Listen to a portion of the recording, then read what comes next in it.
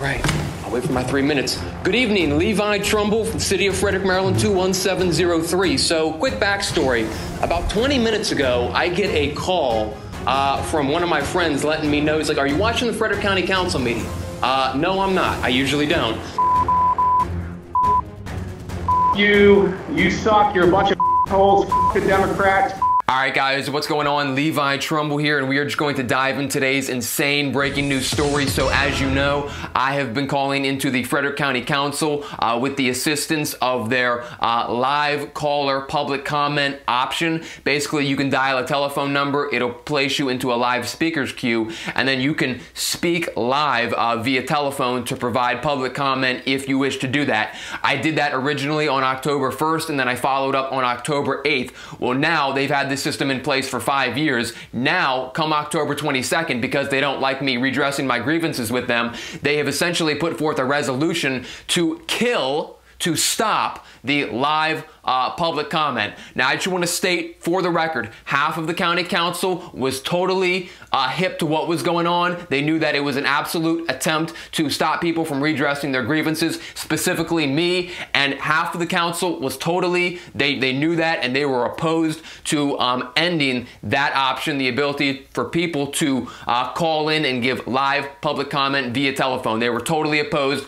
but the other half was for it. So guys, this is an, an insane situation. There are definitely winners and definitely losers uh, in this situation. We will put up uh, the winners on the screen right now, the people who were opposed uh, to seeing that happen, and then the losers, the career politicians who uh, basically make their money, have made their living being politicians, uh, who don't do not like the fact that people like me are calling in and redressing grievances against corrupt county staff. So with that, guys, you must email uh, council members at frederickcountymd.gov. Redress your grievances, share the video, and let's get it out there. So insane situation. Check it out right now. I showed up to deliver public comment on the fact that it has been proposed uh, to remove this option for people to provide public comment. It's not going to do anything even if they do pass it. The only thing it's going to do is limit senior citizens and people with disabilities from being able to call in and participate in their government. It's total nonsense, and they're only doing it because of yours truly.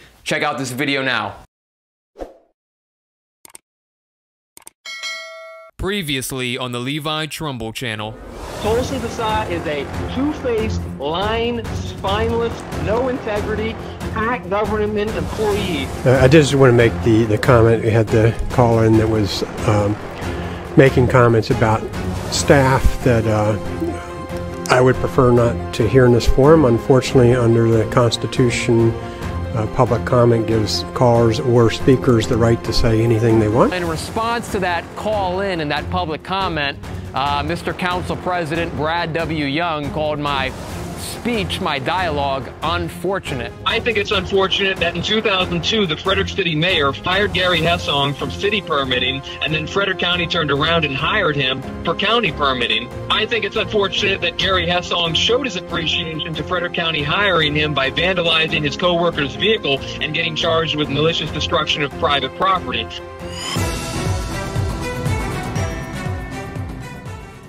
Recently, we've had a caller uh, disparaging county employees who are not here to defend themselves.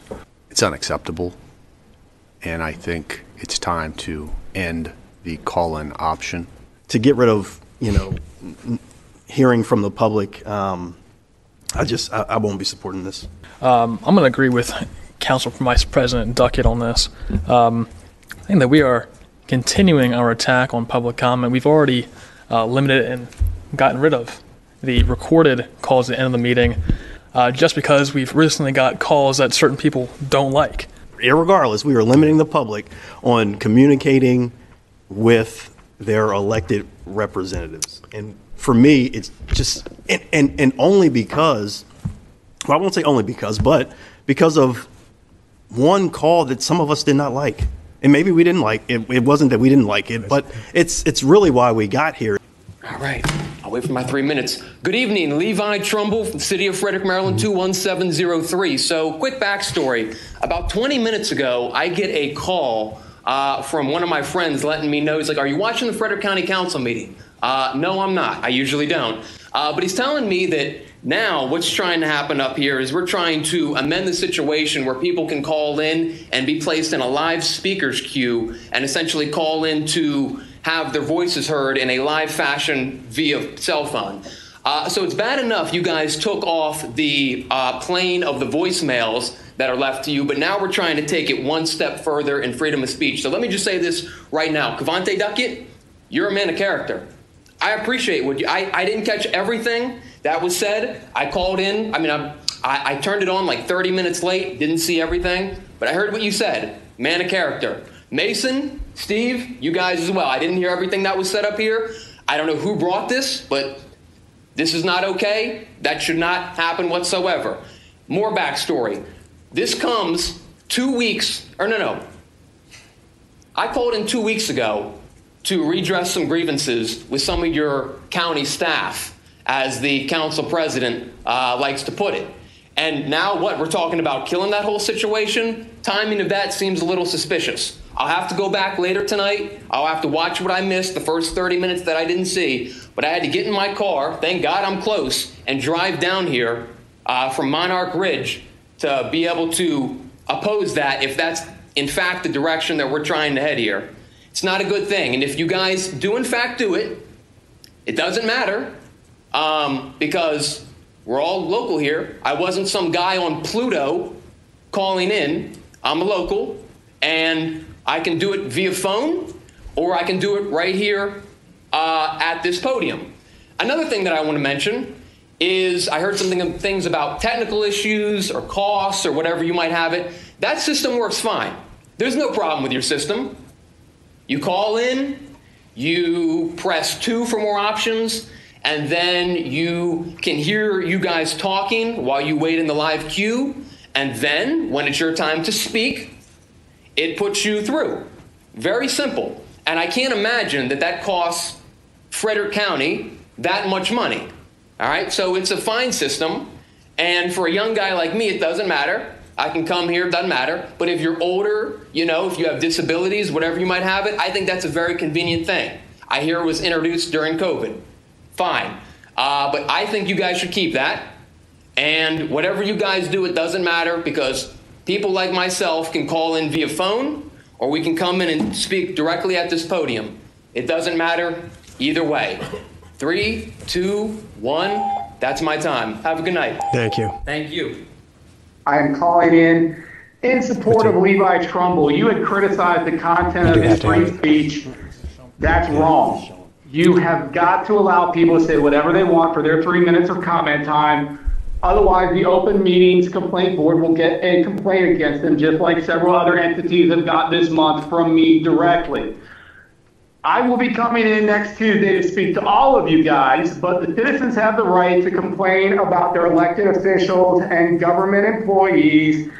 You said that his free speech was unfortunate the last time he called in. That's not right. It's not for you to decide. It's for the citizens to decide, and we do so at the ballot box every election, just like we're going to be doing coming up here in November. Uh, but again, we, the people, have the right to be heard and the right to speak. The call-in line works fine. We should keep the call-in line, but you need to also respect people's First Amendment rights. They can say whatever they want. They can say you, you suck, you're a bunch of assholes, the Democrats, Larry Hogan. You can say whatever you want.